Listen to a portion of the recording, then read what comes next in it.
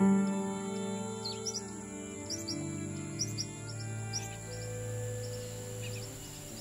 nombre es Laura Jaramillo, yo soy médica veterinaria.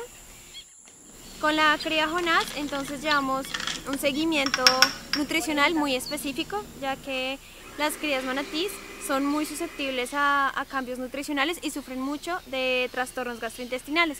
Entonces con él hacemos todo un seguimiento detallado de la fórmula y por eso frecuentemente lo estamos pesando y realizando medidas para saber cuánto está creciendo, cómo está engordando o qué cambios hacer en su alimentación.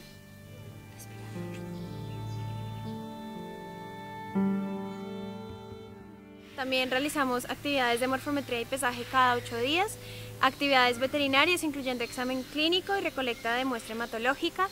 Jonás es, es un ejemplo de muchas de las crías manatí que debido a la caza indiscriminada o a las alteraciones de su hábitat han tenido que abandonar a sus madres y ser eh, rehabilitados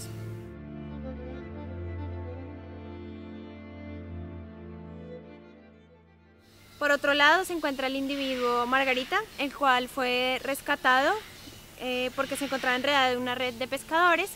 Fue trasladado a la CBSC de Lorica, en donde se reacomodó en un estanque natural y se le hicieron todos los estudios veterinarios pertinentes para conocer su estado de salud.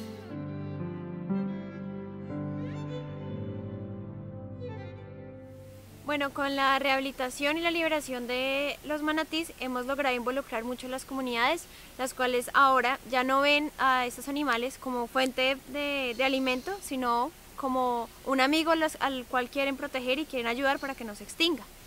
Quiero reconocer el trabajo de la CBS porque sin ellos no habría sido posible desempeñar estas actividades ni lograr reubicar a estos animales en su medio natural con el apoyo de las comunidades.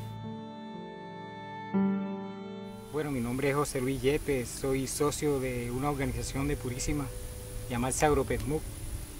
Eh, nosotros siempre hemos velado por el medio ambiente y conservación siempre a la ciénaga en todas las especies. Y desde que conocemos a María del Mar, nosotros nos hemos convertido en amigos de ella. compartimos juntos, nos encontramos, jugamos en la ciénaga, la cuidamos y cuidamos otros manatíes más que viven en nuestra hábitat. Eh, fue liberada María del Mar, pues nosotros ya hemos visto que no es, que no es conveniente de, sacrificarlo para la alimentación, sino cuidarlo, conservarlo y hacer que las especies se reproduzcan aún más. Yo agradezco que las CBS sigan con esto de la repoblación de manatíes aquí en nuestra zona para que nuestros hijos y nietos conozcan estas especies más adelante que estaban en vía de extensión.